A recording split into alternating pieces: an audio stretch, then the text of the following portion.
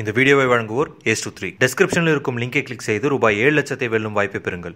Behind roots TV behind roots ஆரை தொடர்ந்து food and life ஸ்டைலுக்காகவே எக்ஸ்க்ளூசிவாக பிஹைண்ட் ரூட்ஸ் ஆஷ் அப்படிங்கிற புது சேனல் நவம்பர் ஃபோர்டீன் லான்ச் பண்ணுறோம் இந்த சேனலோட லிங்க் டெஸ்கிரிப்ஷன் அண்ட் கமெண்ட் செக்ஷனில் வந்து கொடுத்துருக்கோம். அந்த லிங்கை கிளிக் பண்ணி உடனே சப்ஸ்கிரைப் பண்ணி வச்சுருங்க. இப்போவே சப்ஸ்கிரைப் பண்ணிட்டீங்கன்னா இந்த வீடியோ மிஸ் பண்ண மாட்டீங்க. ஸோ இப்போவே பண்ணிடுங்க. ஆக்டர் ஆர்ஜே பாலாஜி அடுத்ததாக ஒரு படத்தை வந்து டைரக்ட் பண்ண போகிறாராம் அவரோட டேரக்டர் டெபியூட்டில் நயன்தாரா ஹீரோயினாக பண்ண போகிறாங்களாம் இந்த விஷயம் தான் ஆல்ரெடி நீங்களே சொல்லிட்டீங்களே.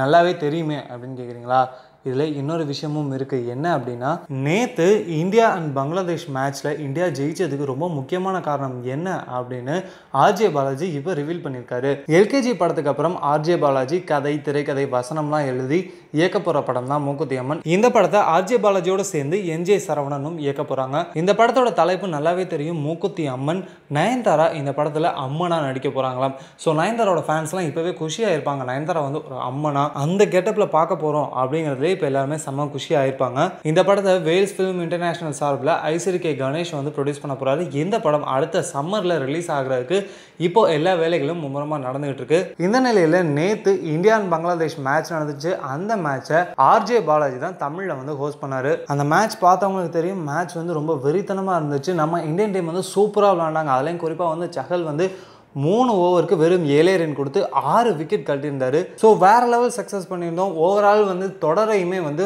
ரெண்டுக்கு ஒன்று அப்படின்ற வகையில் இந்தியா வந்து வின் பண்ணியிருந்தாங்க.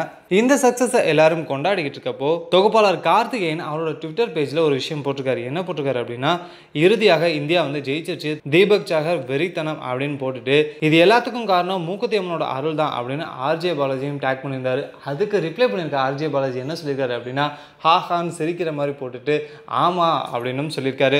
ஸோ இது மூலமாக இந்தியாவோட வின்னிங்க்கு ரொம்ப ரொம்ப முக்கியமான காரணம் மூக்குத்தி அம்மனோட அருள் தான் அப்படிங்கிறதும் தெரியுது.